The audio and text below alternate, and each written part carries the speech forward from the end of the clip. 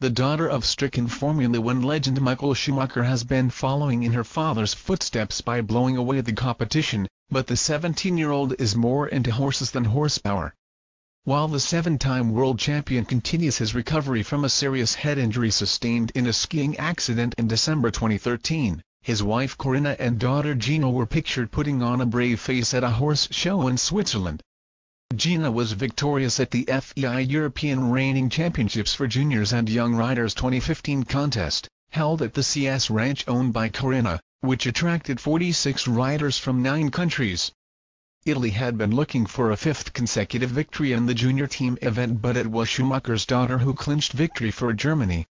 She also won a gold medal in the individual competition, saying afterwards, My horse was great for me once again, and I am thrilled with this second gold medal.